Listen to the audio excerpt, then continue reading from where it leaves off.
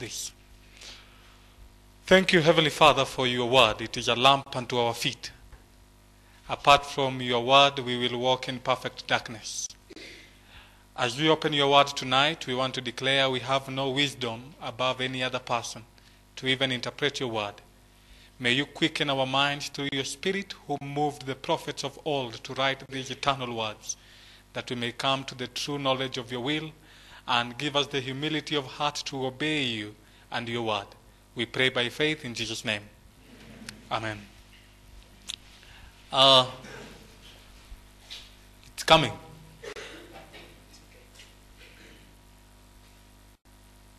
Okay.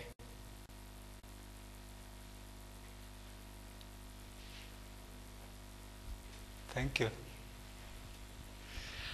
As I had mentioned earlier, uh, I think I will be imbalanced, um, standing on one side of the class. Uh, maybe somebody can control this for me, if you don't mind. Yeah? I think it will be easier and make life better. Okay, then I can stand in the middle of the class. I think uh, I'm not doing badly off as a teacher. Uh, the subject today is Babylon the Great is fallen. And I want to begin by saying that tonight's message is a very solemn message. And I want to say that whatever I will say tonight, I will say with humility of heart. And I pray that as we are going to study this subject, that you may think carefully whether the things we say are so in Scripture and the evidences also that we are going to use, which are extra biblical uh, references. So I want to say that this message will be a tight one, and I pray that, and I do not see the line, be, be, the line of distinction between exposing error and being judgmental is very thin. And so sometimes while we may talk about some things, it is very likely to mistake that to be judgmental.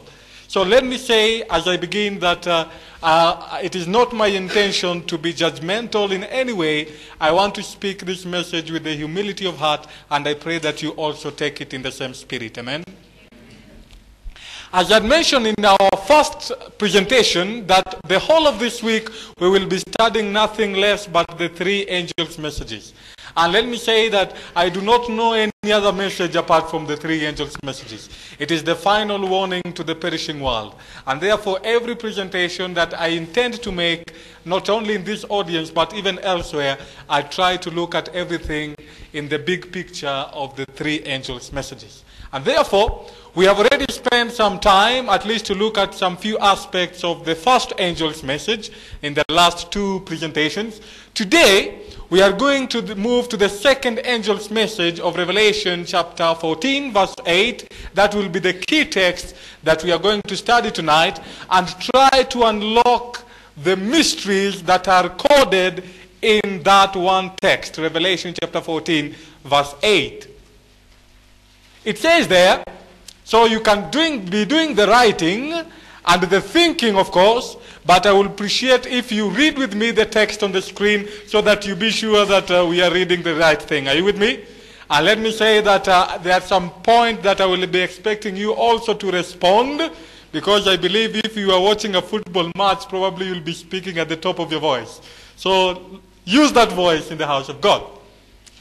Revelation chapter 14 verse 8, this is the second angel's message. It says there, and there followed another angel saying, Babylon is fallen, is fallen, that great city.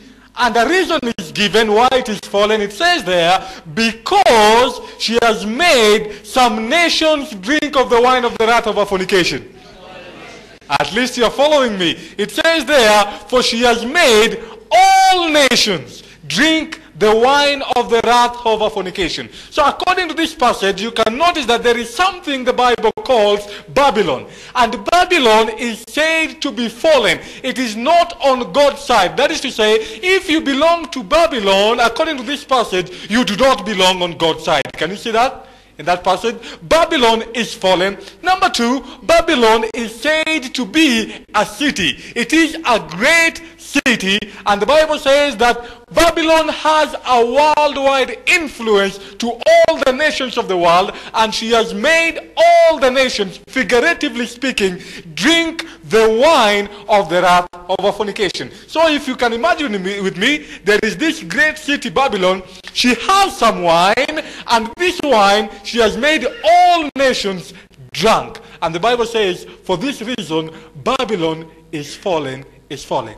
The question we want to ask tonight is what is Babylon? Because if Babylon is against God, you cannot come out of Babylon if you do not know what Babylon is in the first place. And therefore, today we want to endeavor to look at what does the Bible describe as Babylon. Let us look at the book of Revelation. John himself will tell us what is Babylon. Revelation chapter 17 verse 1, still reading the writings of John. He's the one who said, fallen is Babylon. So we ask him, what do you mean by Babylon? And he explains in Revelation chapter 17 from verse 1, and there came one of the seven angels which had the seven vials and talked with me, say, uh, saying unto me, Come hither, I will show you the judgment of the great who? Whore that sitteth upon many waters. So there is this one angel among seven who comes to speak to John and tells John, Come, I will show you the judgment of a great war or a harlot, if you please. And this harlot, the Bible says, she sits on many waters. With whom the harlot, the kings of the earth, have committed fornication, and the inhabitants of the earth have been made drunk with the wine of her fornication. Let me ask you, is there a, a word that you've read there that is familiar, we have read somewhere? Yes, Babylon is fallen, and the Bible says why? She has made all the nations drink the wine of the wrath of her fornication. But now John sees a harlot woman who sits upon many waters. She has committed whoredom or fornication with all the kings of the earth and all the inhabitants of the earth. It says she has made them drunk with the wine of the cup of fornication. Let me ask you, do you think that probably this woman could be the Babylon spoken about. Let us continue and see whether she is the Babylon. So he carried me away in the spirit in the wilderness, and I saw a what? A woman sit upon a scarlet, scarlet is red, sitting upon a scarlet colored beast full of names of blasphemy, having seven heads and ten horns. So he saw this harlot woman sitting upon a beast which is red in color. It has seven heads and ten horns upon its heads. Of course, you will agree with me that this is symbolic language, don't you think so? Because today, there is no, in the history of the universe, there is no animal with seven heads and ten horns which comes out of the sea. Are you with me? Of course, he's speaking figuratively. So it continues. So there is the harlot woman. She sits upon a red beast with seven heads and ten horns. And she has made all the nations drink the cup of the wrath of her fornication. Let's continue. Verse 4, describing the woman, it says, And the woman was arrayed in purple, so she was dressed in purple, and scarlet colors. That is to say, this woman is, uh, is dressed in purple and red. These are prominent colors the woman uses. And she is decked with gold and precious stones and pearls. That is to say, she is ornamental. And she's, uh, this expression also indicates that she could be a very rich and wealthy woman. Can you notice that? And by the way, do you notice that this woman is called a harlot? And the Bible describes the dress code of a harlot. You didn't get what I said. That she is decked with gold and pearls and precious stones. Is it possible that those who fornicate with her, who cannot afford those things, could be using iron sheet and wood and grass. it says there, having a golden cup in her hand full of abominations and the filthiness of her fornication. So she has a cup there, and in the cup there the filthiness of her fornication, which are called abominations, and she has made all nations drink from this cup. It continues. But now notice the name of this woman. Now we confirm who is this woman. Verse 5 it says, And upon her forehead was a name written. Mystery what? Babylon. So let me ask you, when we are reading in the book of Revelation 14, fallen, fallen is Babylon. Who is Babylon referring to? This is the lady that the Bible calls Babylon. In the book of Revelation 14, the, all nations have been made drunk with the wine of the, the cup of her fornication. And here we are told that she made all nations drunk with the cup of the wrath of her fornication. So now we confirm that she is Babylon. Mystery, Babylon the Great, the mother of harlots and the abominations of the earth. So notice point number two, that this woman is not alone. She is called a mother of harlots. You see, I have met women who have never given birth, but I have never met a mother who has never given birth. Did you get what I said? That is to say, for her to be called a mother, it means there has to be daughters in this context. She is the mother of harlots. That you notice that the mother is a harlot and the daughters and the children are all likewise called harlots. That is to say, the children reflect the image of the mother. Can you see that? And so from this point we can simply say, like mother, like daughter. So let me ask you, if the mother is decked with gold and precious stones, what do you think the daughters could be doing?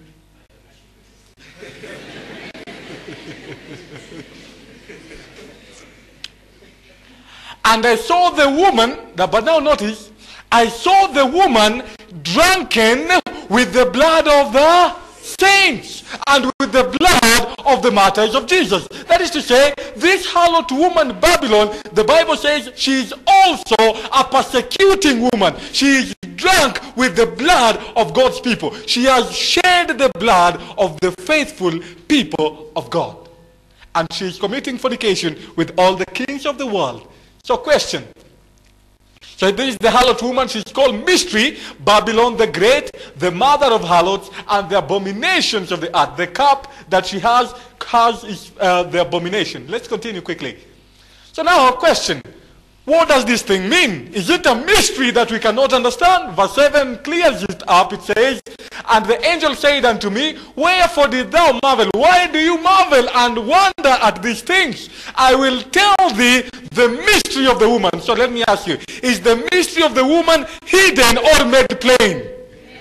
It says there, I will tell thee the mystery of the woman and of the beast that carried her, which had the seven heads and the ten horns. That tells you that these things have been open to us for our study. Let me say that this, the Bible, particularly the book of Revelation, was written in a coded language or in symbolic language because the truths that we are going to reveal touch on prominent people of this world. And if God would have written in plain language, probably we will not be having the Bible today. And so God preserved the Bible through history by coding the messages of the book of Revelation. Are you getting what I'm saying? And so the, here we see, this is the summary of the vision. There is the harlot woman. Point number one, the harlot was seen to be sitting upon many waters. Again, the harlot was seen to be sitting upon a scarlet beast with seven heads and ten horns.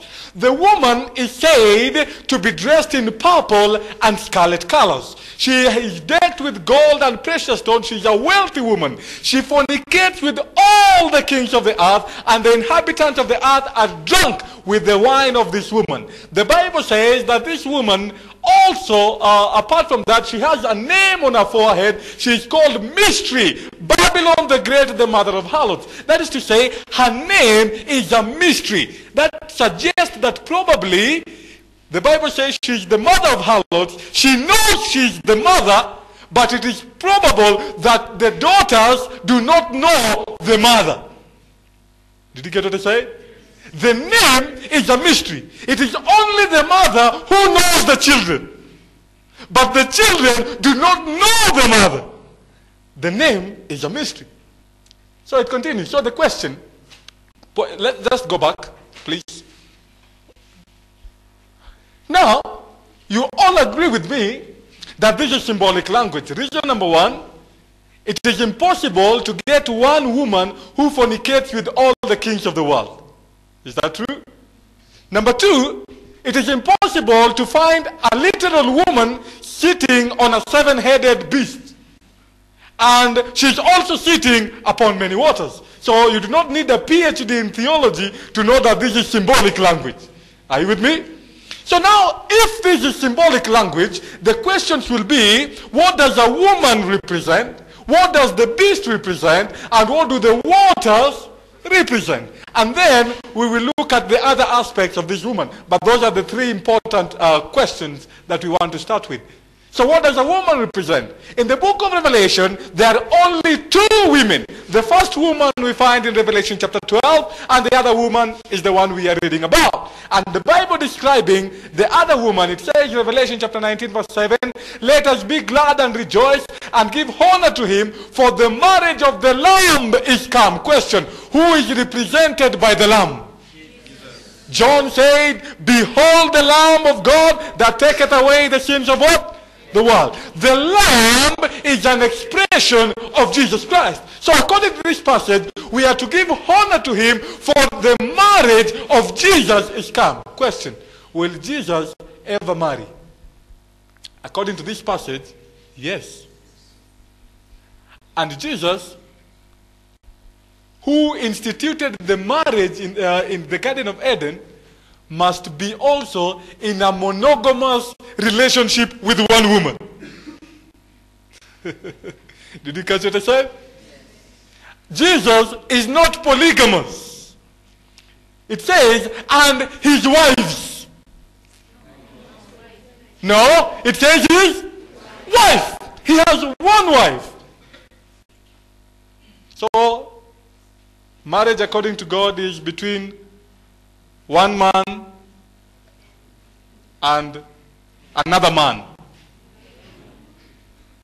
One man and at least two women. No, it's one man, one wife.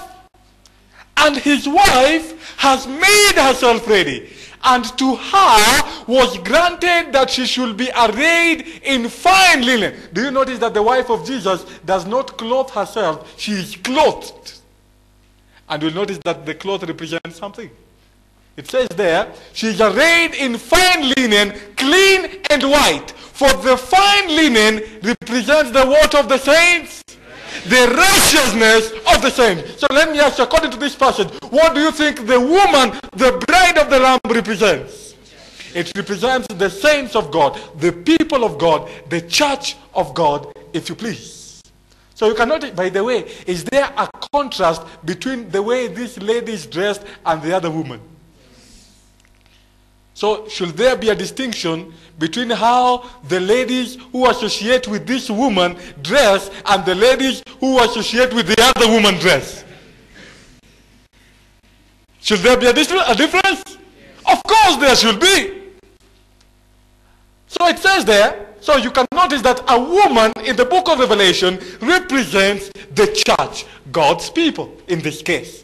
So it continues. We can notice also uh, a parallel text, Revelation chapter 12, verse 14, talking about this woman, the church of God. It says, And the woman were uh, and to the woman were given two wings of a great eagle, that she might fly into the wilderness, into her place where she is nourished for how long? For a time, times and a half a time from the face of the serpent. So according to this passage, it says the woman fled to the wilderness for a time, times, and half a time or dividing of time. Now the question is, notice Daniel, the book of Daniel also borrows this expression and tells us who fled into the wilderness. Here we are told that it is the woman, but notice Daniel chapter 7 verse 25, it says there, and he, this little horn, shall speak great words against the Most High and shall wear out or persecute the saints of the Most High and think to change the times and laws. And they, the saints, shall be given unto his hand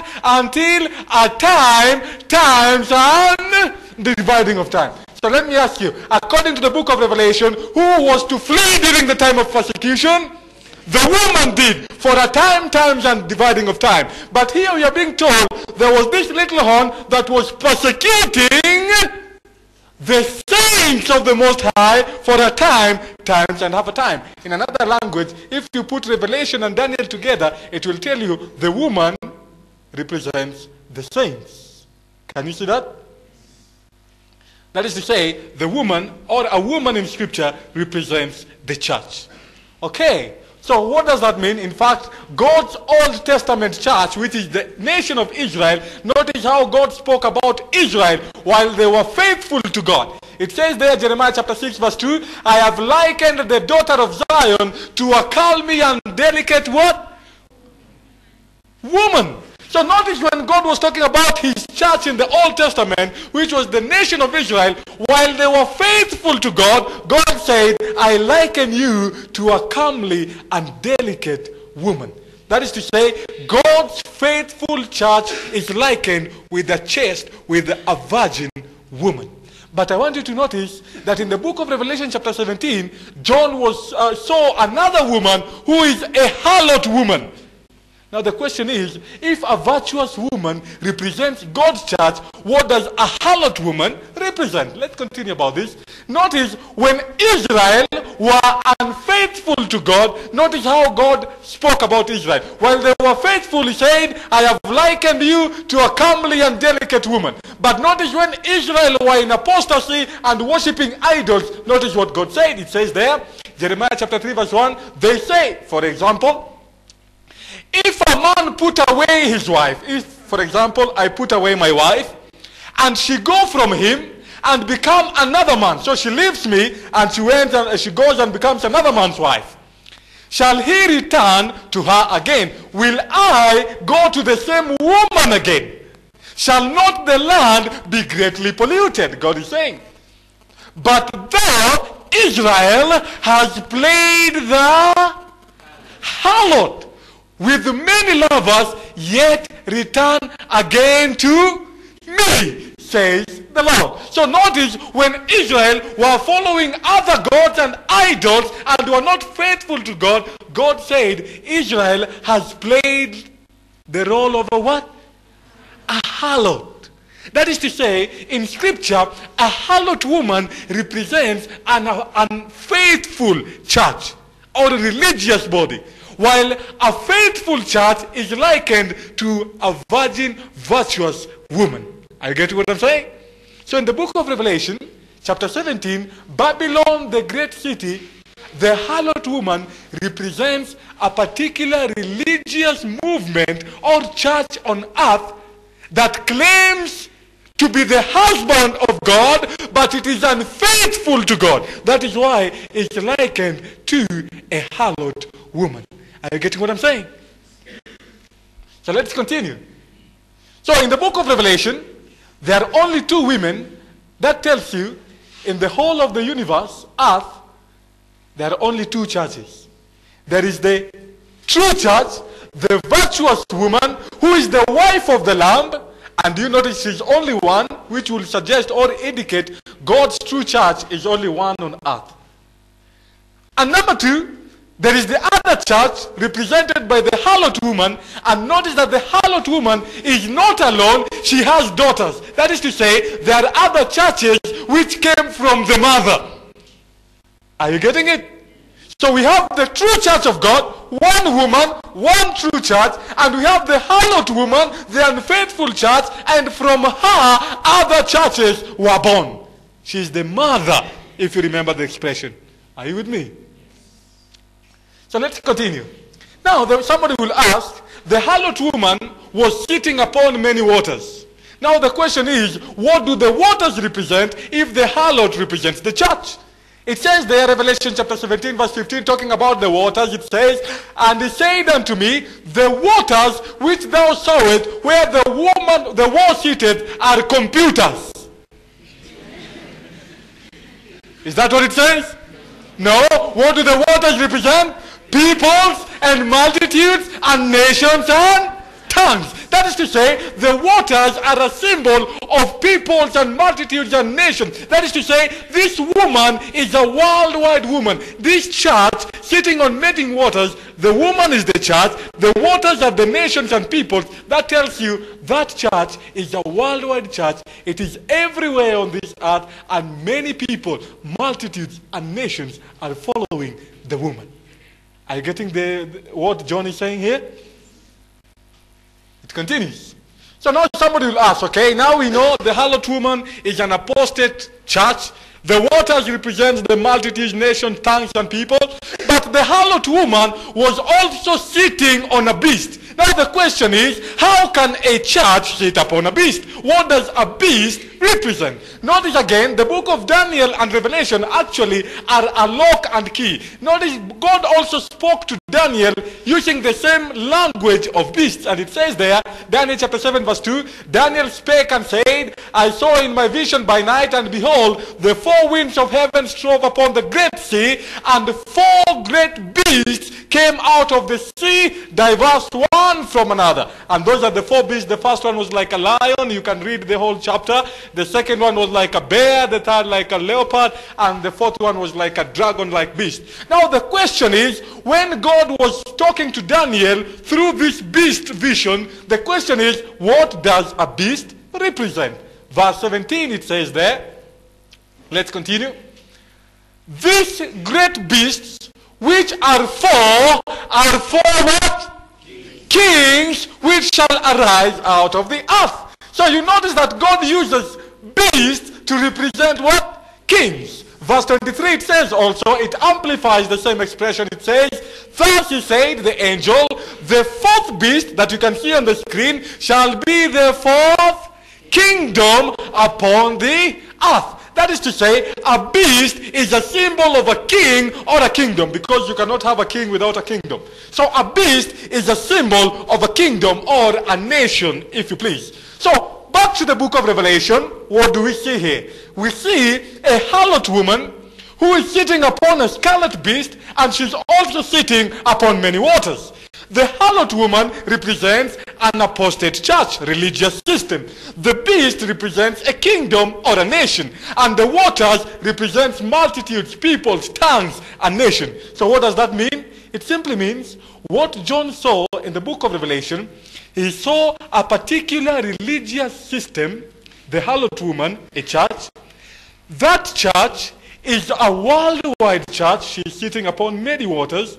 And you can notice that the woman is riding a beast. That tells you that there is a particular nation on earth, a kingdom, a beast, and that nation is riding a church, or you have a combination of a church and a state or a nation. A nation is a beast, a woman is a church. So you have a nation united with a church, and that church is a worldwide church, and from that church, other churches came from it, the daughters. Are you getting it? So start thinking. Start thinking. Now the question is, which church is represented in the book of Revelation? Of course, I will not tell you which church. We will let the Bible to tell you which church. Revelation chapter 17, the first question is, let us look at this kingdom, this beast, this nation.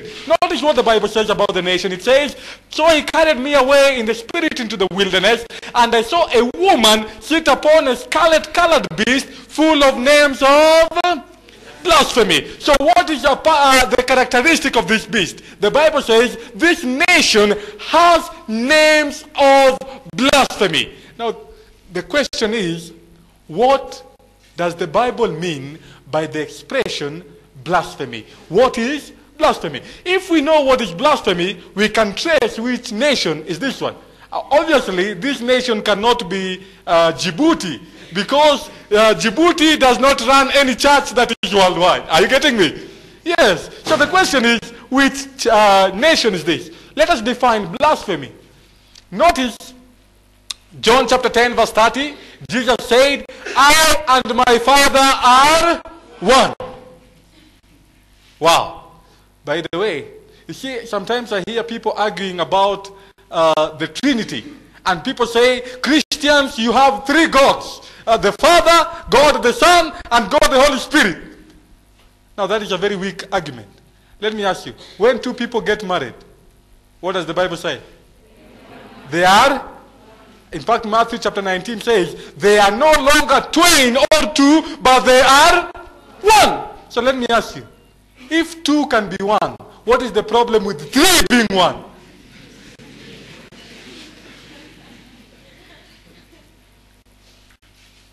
So they are three. So let me ask you, when two people are married, when you look at them, you see one person, isn't it? No. You look at them, you see how many people? Two. But the Bible says they are not two, they are. So let me ask you. The Father and Jesus are one person, isn't it? No. They are two distinct persons. But they are one. They are not two. He says, I and my Father are one. Are you with me? That is to say, Jesus said, I am God. When he said that, notice what happened. Then the Jews took up stones against to stone him. Jesus answered them, Many good works have I shown you from my Father. For which of those works do ye stone me? It continues to say, My friend, the Jews answered him, saying, For a good work we stone thee not, but for blasphemy. That is the word. Now, what is blasphemy? It says, And because thou being a man makest thyself God. You see, the Jews were looking at Jesus with human eyes. This is the son of Mary, the son of the carpenter. And now he's saying that is God. That is blasphemy. So let me ask you, according to scripture, what is the definition of blasphemy? It is when a mere man claims to be God. Are you getting that? Now, the beast has blasphemous names. That tells you in that nation, in that kingdom, there will be mere men who will claim to be God. Are you getting it? That is the definition of blasphemy. The second definition of blasphemy, Luke chapter 5 verse 20, you know, know that story? When the hall was packed and they brought a sick man through the roof. You remember that? Then Jesus looking at the sick person, he said the following. And when he said, and when he saw their faith, he said unto him, Man, thy sins are forgiven thee. So Jesus, being God, forgive, forgave the person his sins. But now notice, then the scribes and the Pharisees began to reason, saying, Who is this which speaketh what? Blasphemies.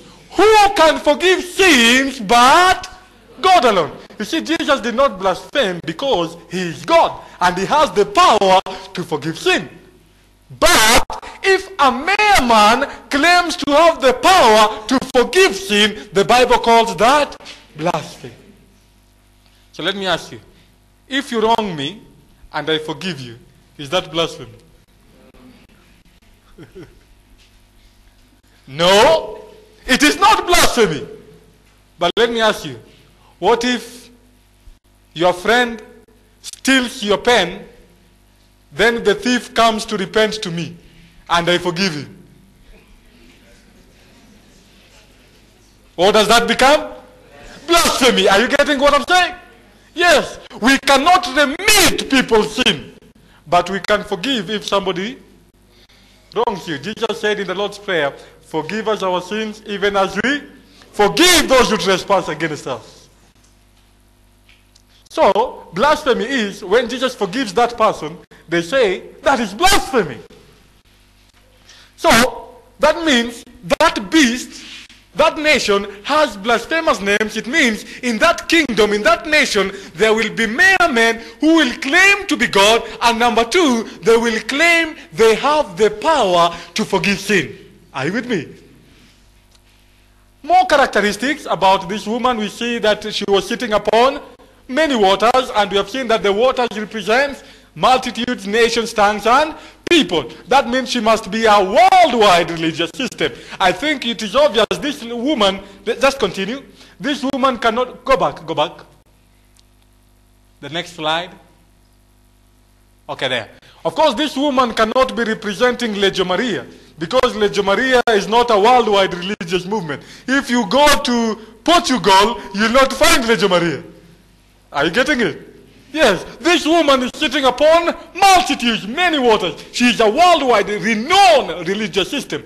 Number two, another characteristic she, about this woman, it says she has committed fornication with the what?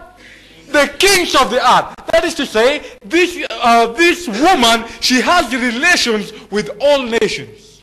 In fact, do you notice that she is a church, a woman, and a beast, a nation? That means if it is a nation like Kenya or any other nation, it is a nation, it must be having armies and ambassadors even to other nations.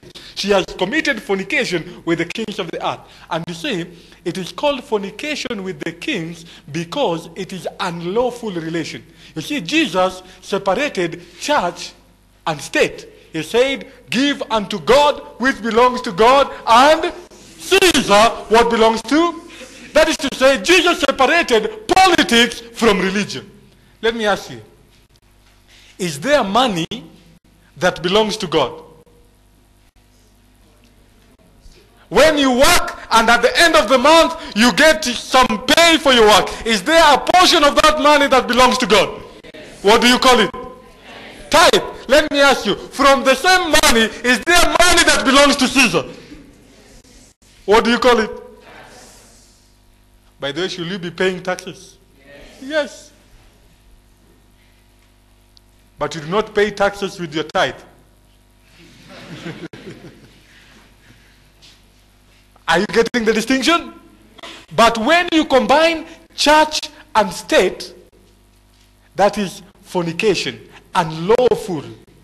Are you getting it? Point number four, notice another characteristics of this woman. The Bible says she was clothed in purple and scarlet. That is to say, this religious system, this church can be readily identified by the use of purple and red garments. She was dressed in purple and red. Are you getting it? She's decked with gold, precious stones, and pearls. That tells you it must be a wealthy and rich religious system. In fact, when you go into her religious services, probably you'll find some of the precious stones everywhere. Are you starting to think with me? The Bible says about this woman that I saw the woman drunken with the blood of the saints and with the blood of the martyrs of Jesus. That is to say, in the history of this woman in this church, she has persecuted God's people. At some point, she has shed the blood of God's people. Are you getting it? So let us put the summary of this. Let's continue, jump there. So what, which church is represented here? Number one, she must be a worldwide church, she's sitting on many waters. Revelation chapter 17, verse 1 and 15.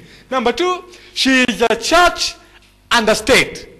A woman and a beast. A woman is the church, the beast is a kingdom or a nation. Number two, the state speaks blasphemy. She had names of blasphemy. And blasphemy means they will claim to be God or to have the power to forgive sin.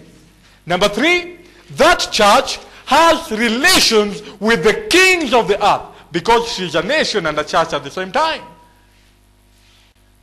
Number five, that church is well known for the use of red and purple garments. The woman was arrayed in purple and scarlet.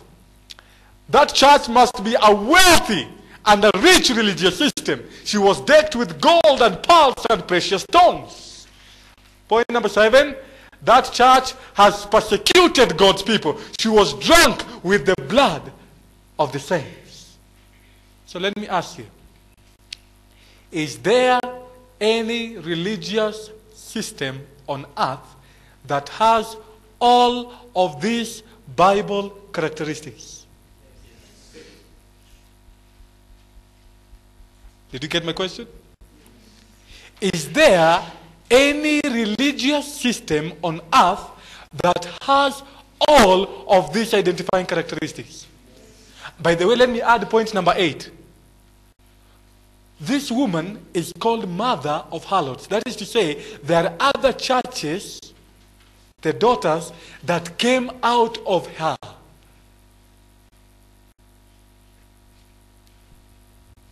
So, do we have a church today that is a worldwide church? It is a church and a nation at the same time. It speaks blasphemies. It has relations with all the kings of the earth. It is well known for the use of red and purple garments. It is a wealthy church. It has persecuted God's people in its history, and out of her, other churches came from.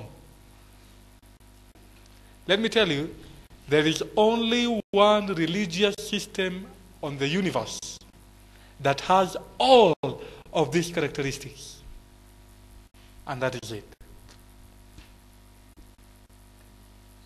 The Vatican. Now let me ask you. Vatican City is a nation like any other, true or false? With armies and ambassadors, it is an independent nation. It is a beast, a kingdom like Kenya or United States or any other. It is a nation. And it also runs a religious movement. It is a nation and a church at the same time. What is the name of the church? The papacy, it is called. Just go back. So let me ask you is that religious system a worldwide religious system? Yes. In fact, the word Catholic itself means universal. She was sitting on many waters. Now let us continue and see whether all the other characteristics are in there. Let's continue. That is the, the, the previous president. Now the Bible says that she, he speaks blasphemies. Question, has the papacy ever spoken blasphemy? Now on this point, I want to quote from authentic church sources. You did not write this, I did not write this. It is the papacy who wrote this from official Catholic documents. Listen to what they say. This document says, all names which in the scriptures are applied to Christ by virtue of which it is established that he is over the church, all the same names are applied to the Pope. You didn't get that. They say all the names in scripture that are applied to Christ because Christ is the head of the church, all the same names are applied to the Pope because the Pope is the visible head of the church. That is to say, if Jesus is the bread of life. The Pope is the bread of life. If Jesus is the lion of the tribe of Judah, the Pope becomes the lion of the tribe of Judah. If Jesus is Emmanuel, God with us, the Pope becomes Emmanuel, God with us. The Lamb of God and all names in scriptures that are applied to Christ, they say that all those names are applied to the Pope. Let's continue. Listen to another statement. By the way, what is the name of God? Notice when Jesus was praying, he said the following word, John 17, 11. And now I am no more in the world, but these, my disciples, are in the world. And I come to thee who holy father keep them through thy own keep through thy own name those whom thou hast given me that they may be one as we are so let me ask you how did jesus refer to god holy father and they said all the names that are applied to god and jesus christ are applied to the Pope. So, question Will we expect them to refer to the Pope as Holy Father? Let us see. Let's continue. We have another Holy Father on earth. Blasphemy, if you please. Notice what Pope Leo XIII, he wrote this in 1894. He said, We hold upon this earth the place of God Almighty. So did they speak blasphemy? Yes, it continues. Notice what Pope Pius V said. The Pope and God are the same. So he has all power in heaven and earth. Wow. Did you know that God lives in Vatican? the Pope said, Pope Pius V, God and the Pope are the same. Now, if that is not blasphemy, I do not know what is blasphemy. I cannot speak such words. Let's continue. Pope John II, before he died, he said in 1984, Don't go to God for forgiveness of sins, come to me. now, that is a statement. The Catholic Encyclopedia, talking about the roles of the priest, it says this this judicial authority of the priest or the father will even include the power to forgive sins. Is that blasphemy? When a mere man claims to have the power to forgive sin. Yes, it is according to scripture. And that is why they claim that the Father and the Pope, they have the power to forgive sin. Let's continue. Notice again this uh, Roman Catholic document. It says, the priest does not have to ask God to forgive your sins. The priest himself has the power to do so in Christ's name. Your sins are forgiven by the priest the same as if you knelt before Jesus Christ. Wow. That is a statement and a half. Let's continue. And that is why they have that kind of a system in the church. Of course, that is me over there. Uh, trying to look out for this information. So the priest go back. so the priest goes in there and sits in there as God, and then you go in the other side, and through those holes you confess your sins, and as God, He forgives you. That is the system. The Bible says he had names of blasphemy. The Bible says she was dressed in purple and scarlet. There it is. By the way, do you notice that the Bible says she was decked in gold and pearls and precious stones? It is a wealthy, rich, religious system. By the way, did the Bible say that she has for committed fornication with all the kings of the earth? She has ambassadors to all nations. She's, in fact, she sits as an observer in the United Nations. Let's continue. Has the Roman Church ever persecuted God's people? Of course, if you read church history, that is why we have something today we call the Reformation. And the, in fact, today we have Christians called Protestants. A name that comes out of the persecution of God's people who were faithful. And today, the world has forgotten people like Martin Luther, John Calvin, John Huss, and all these faithful men who died under the power of Rome. Today, people have forgotten that history. She was drunk with the blood of the saints, the Bible said. Let's continue. Of course, she ruled for over 120 for, for about 12, 60 years for a time, times, and half a time. I do not want to read this because of time. Uh, just to jump that one. Now the question is, why is the papacy likened unto a harlot? Already we have seen that Israel, while they were unfaithful to the voice of God, God said that you have played an harlot.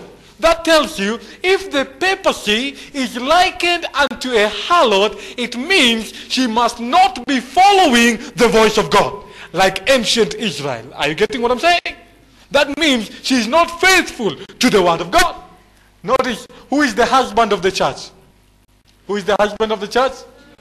Jesus is. But now notice how Jesus describes himself. It says, In the beginning was the Word, and the Word was with God, and the Word was God. So the husband of the church is Jesus Christ, who is God, and he says, I am the Word. The Word is a reflection of who Jesus is. That is to say, if you play a harlot to Jesus, it means you must not be faithful to the word which is a reflection of who he is.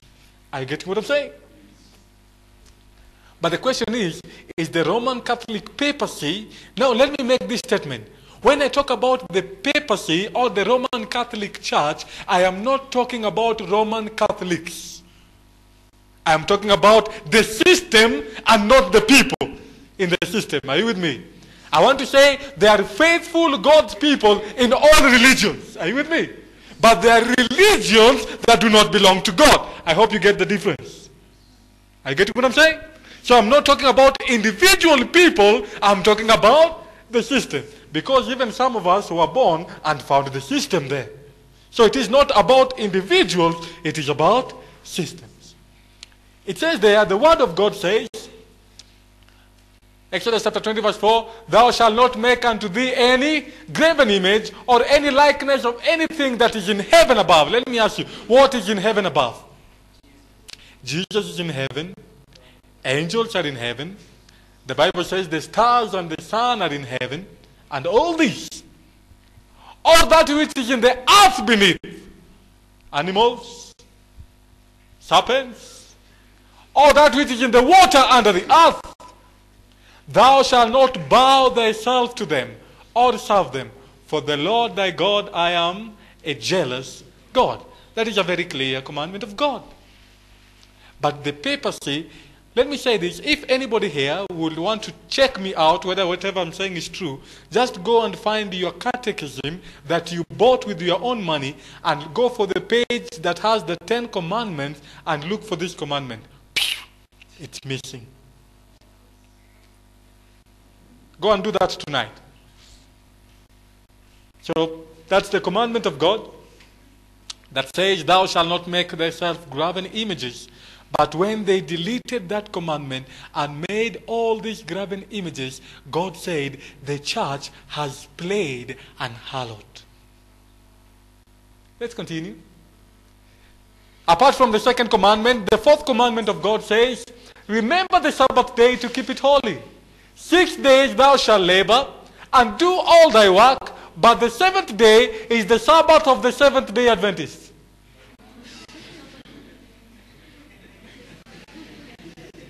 No? Let me repeat it. But the seventh day is the Sabbath of the Jews.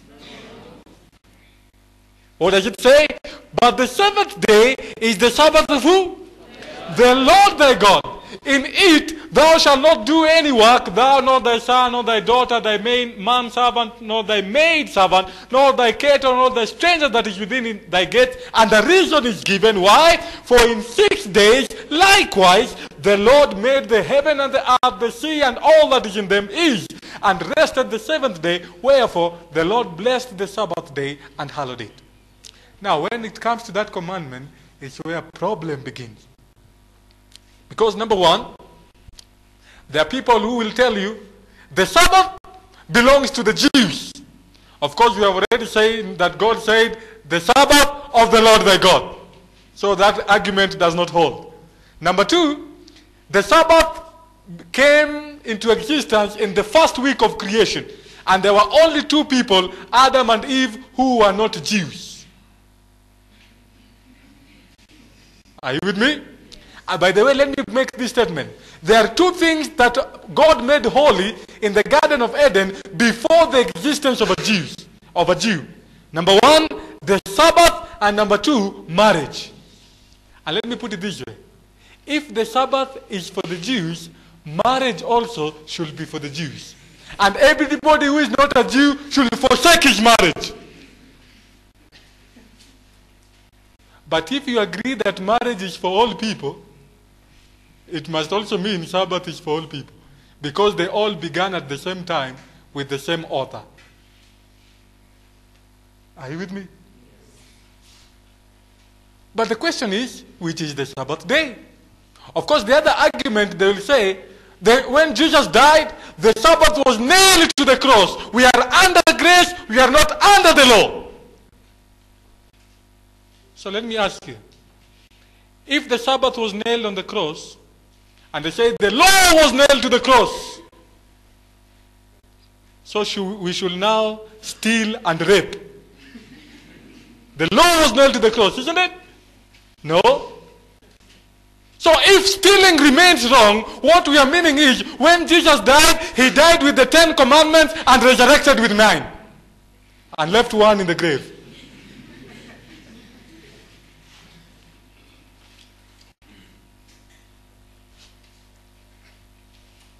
So question, when is the Sabbath day? Of course, there are those who will tell you that the Sabbath day is Friday. There are those who will say the Sabbath day is Saturday. There are those who will say the Sabbath day is Sunday. There are those who will say the Sabbath day is any day. It depends from where you start counting.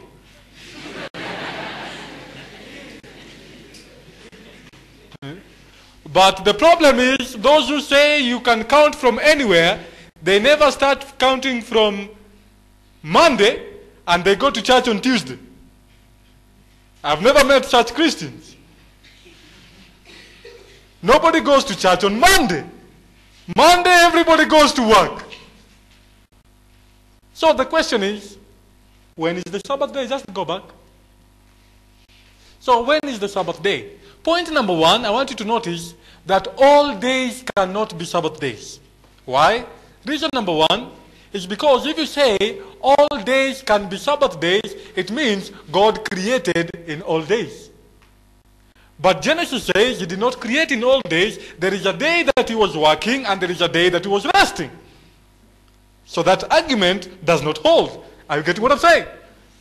So there is a time that he rested. And if you say the Sabbath is any day, it means also God blessed any day. The Bible says he did not bless any day. It says he blessed the seventh day. And there is a difference. So the question is, which day is this? Of course, uh, if you study the book, of, uh, the, the book of Luke chapter 23 about the death of Jesus, uh, it will tell you that Jesus died on the preparation day, verse 54, and the next day is called the Sabbath day. So if you know the day that Jesus died, the next day is called the Sabbath day. The day that Jesus resurrected in Luke chapter 24 verse 1, it is called the first day of the week. So if you know the first day of the if you can get the day that Jesus died, you can know the first day of the week and you start counting from there. And it is a historical fact, it is not disputed historically, that Jesus died, and the day that he died is accepted historically that he died on Friday. So the Sabbath day becomes, oh, where is my bag? Quickly before it goes off.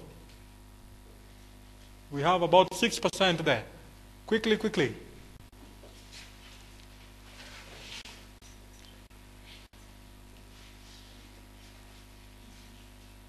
My friend, you can be quicker than that.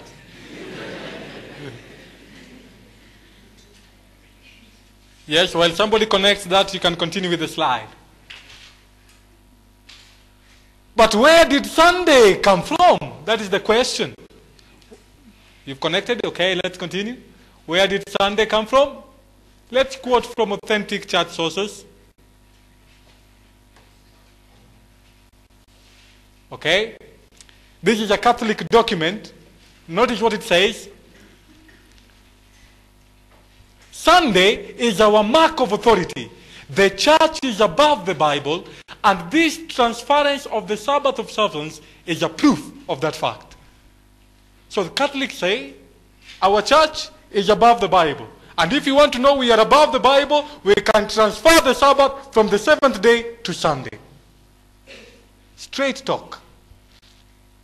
Notice another Catholic document. They say, those who follow the Bible as their guide, the Israelites and the Seventh day Adventists have the exclusive weight of evidence on their side, while the biblical Protestant, the other Protestants, has not a word in self defense for the substitution of Sunday for Saturday. Wow. So Rome says, Catholic says, in her own books, that the only people who follow the Bible as their guide are the Israelites and Seventh day Adventists, because the Bible says, remember the Sabbath. While the other Protestant, while he's carrying the Bible, Catholics say they do not have even one word for substituting Saturday for Sunday. That is straight talk. But I want you to notice that Rome is not alone. She was called the mother of. That is to say, from her, other churches came from. But now the question is you see, you may not belong to Rome, but you may belong to the daughter. And you may not know you belong to the daughter because the name is a mystery. The children do not know the mother. But the mother knows the children. So the question is, how will you know the daughters? Very simple. Let's go quickly. We want to wind up.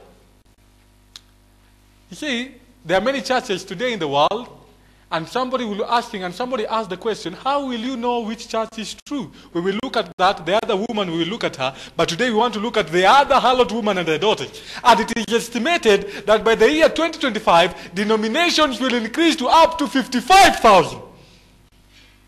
Now that is a serious problem. And all these denominations claim to be the gateway taking people to heaven. So let us see how will you know whether the church you attend is a daughter of Rome? The Bible gives a very simple text. It says, Ezekiel chapter 16, verse 44, Behold, everyone that useth proverbs shall use this proverb against thee, saying, As is the mother, so is her. In another language, like mother, like so if you want to know any religious movement on earth that is classified as the daughter of Rome, all you need to do is look at the mother. And the daughter will reflect the image of the mother.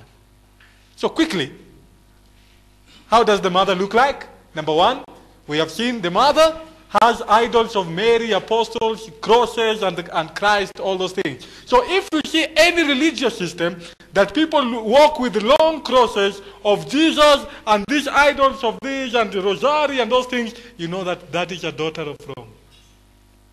Like mother, like daughter. So don't ask me where is Legio Maria in the Bible. Don't ask me that.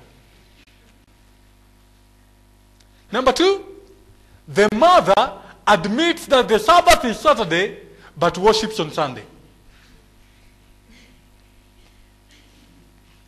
So if you see any religious movement or church or denomination, so to speak, that will admit that the Sabbath is Saturday, but worships on Sunday, like mother, like daughter. Listen to what the daughters say. This is a video clip. I want you to play this and listen carefully. Go back.